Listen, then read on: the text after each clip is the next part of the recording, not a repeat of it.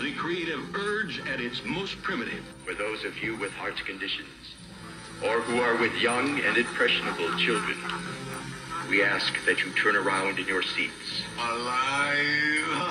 It's alive! It's Little Steven's Underground Garage. Underground garage. Underground garage. Underground garage. Underground garage. Now they will know why they are afraid of the dark. Now they will learn why they fear the night. There is nothing wrong with your television set. Do not attempt to adjust the picture. We are controlling transmission. I want counterculture. I want anti-establishment. This is mass madness, you maniacs! You maniacs! You maniacs! Quiet, numbskulls. I'm broadcasting.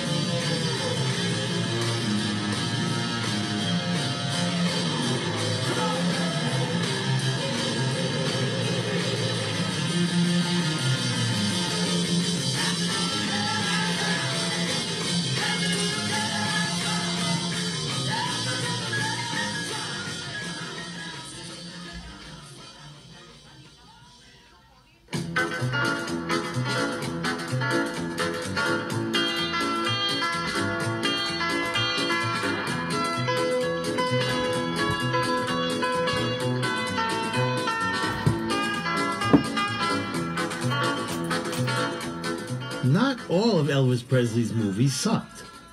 His fourth and last movie before going into the army, called King Creole, was probably his best, but his third was a pretty close second.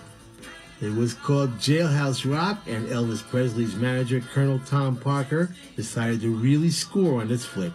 He exercised his option with Paramount, which allowed him to do one movie at a different studio. He called producer Pandro Berman and made the deal at MGM. Sure enough, Colonel Tom got quite a deal $250,000 and 50% of the net. Now, if you've ever wondered what the expression B movie exploitation flick means, it goes something like this Should we send the script to Elvis? asked producer Berman to Colonel Tom. Nah, don't bother, said the Colonel. Do you want to see it? asked Berman. Nah, I don't need to see it, said the Colonel. Well, what do you want? asked producer Berman. Just all the music and publishing rights. I'm not greedy, says the Colonel. Berman later bragged he couldn't care less. He didn't have to pay a real composer like Irving Berlin or Jerome Kern. He found a couple of punk hillbillies and paid them 20 cents. So who cares where the music rights went? Well, those punk hillbillies turned out to be Jerry Leiber and Mike Stoller, the most important and successful songwriter producers in rock and roll history. When the colonel sent the contract over to the boys, Jerry Leiber found it a little odd. He called the colonel and said, uh, Colonel, it's just a blank piece of paper. Don't worry, son, the colonel said. We'll fill it in later. The director, Richard Thorpe, was selected specifically by producer Berman because he didn't meddle in areas that weren't his business, like the script or casting. He was simply the fastest shooter on the lot, and the plan was to get it done for 400 grand in less than a month. When the colonel finally got to the set, he decided to pay more attention to this script thing in the future. The movie turned out to be about a wise ass kid that gets in trouble, and while in prison, signs with an unscrupulous manager who takes 50% of his earnings.